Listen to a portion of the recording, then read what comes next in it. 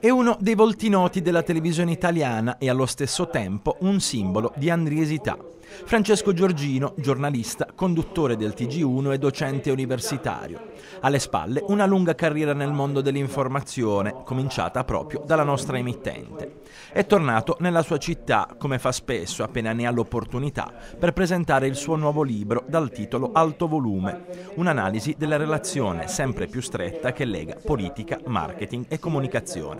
Un aspetto che caratterizza la società degli ultimi anni, nell'era del populismo e del sovranismo, nell'era del digitale e dei social network, sta prendendo forma un nuovo modo di fare politica per la conquista ma anche per la gestione del consenso. Viviamo in pieno la trasformazione digitale questo ha avuto delle ricadute non soltanto nell'andamento complessivo delle dinamiche macrosociali ma anche nelle dinamiche politiche. E in questo libro che ho voluto intitolare Alto Volume eh, e che ha come sottotitolo Politica, Comunicazione e Marketing io provo a raccontare il processo di trasformazione della politica in comunicazione e in marketing con eh, tutto ciò che ne consegue, quindi mettendo in evidenza luci e ombre.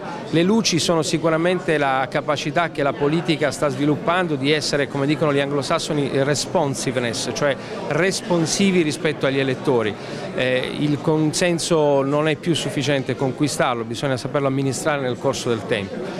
Eh, I lati negativi, gli aspetti più diciamo, problematici sono legati alla teatralizzazione della politica, all'eccesso di mediatizzazione e al fatto che eh, talvolta la comunicazione non è più solo forma ma è anche sostanza fino al punto di ecco, eh, invadere in modo radicale e anche inesorabile persino il campo del marketing. La serata è stata organizzata dal Rotary Club Andria Castellisvevi e dal distretto 2021 del Rotary Club in collaborazione con il Mondadori Bookstore. L'occasione per conferire a Francesco Giorgino anche il titolo di socio onorario del Rotary Andriese, un riconoscimento per i suoi importanti traguardi professionali che hanno dato lustro alla città. Di Andria è la prima sede in cui viene presentato il suo nuovo libro e io eh, ci ho tenuto stasera ad averlo con noi per renderlo socio onorario del nostro club.